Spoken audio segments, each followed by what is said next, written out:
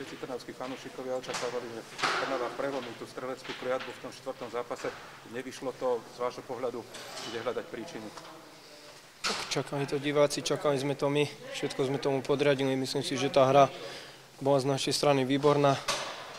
Sereď prakticky nebola pri našej bráne a z tej, z tej jednej strely exportnej trafil do vinku, ale aj tak si myslím, že aj po tom góle sme ich celý čas tlačili, mali sme tam šance a, a zase sme zhorali na tom, čo, čo rozprávame od prvých zápasov, že tá, tá strelecká smola je na našich kopačkách, máme tam aj situácie, máme tam centra, vždy tomu niečo chýba, že buď sme o niečo neskôr, alebo tráfame superové hlavy, ale hovorím, tento zápas sme prehrali, ale z, z jary mám najlepší pocit z tohto zápasu, čo sme hrali, že fakt tá hra bola, že sme kombinovali, behali, boli sme myslím si, že živší než Sereď.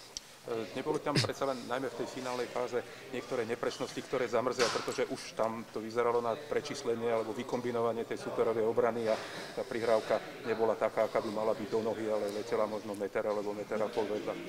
Áno, vieme o tom, že niektoré situácie sa mohli riešiť ináč, ale na tom ihrisku je to niekedy také, že človek chce niečo rýchlo spraviť a potom pozrie spätne, že no, v tej situácii som mohol niečo iné spraviť, ale, ale máte pravdu, že musíme trošku na tom popracovať na tej predfinálnej fáze. Není to len o tom, že nedávame góly, ale musíme si to aj už lepšie pripraviť. E, hrala Sereď niečo iné, ako ste predpokladali, alebo proste niečo iné ako v tých predchádzajúcich jarných zápasoch?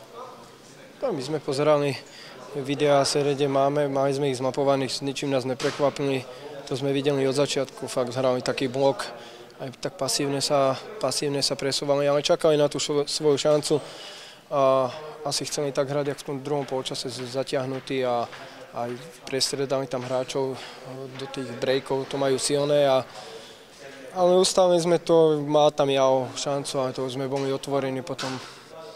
Čiže strata bodov doma mrzí a teraz to budeme musieť dohnať inde. Nestraší trocha tá skutočnosť, že Rúžomberok naozaj sa dotiahol a dýcha vám s jednobodovým odstupom na chrbát? No, možno to je dobré, že máme takýto tlak, že začneme trošku, trošku inač než pracovať, ale už sme pod tlakom aj my a, a musíme začať zbierať body. Dneska sme chceli odskočiť Družomberku, nepodarilo sa, ale s každým ešte hráme. Máme 9 zápasov a všetci postrácajú, všetci neverím tomu, že niekto spraví nejakú sériu, že všetko vyhrá. Dunajská streda mohla by byť potom v Prasku v Ružomberku takým znesiteľným sústom, možno aj takým priateľným, chutným? Registrujeme, že, že teraz prehrali 4-1, ale vieme, aké to je zápasy s Dunajskou, že úplne ináč budú nastavení na zápas Trnavou a, a vieme, že hrajú doma, konečne majú 50% kapacity, čo bude výborná atmosféra.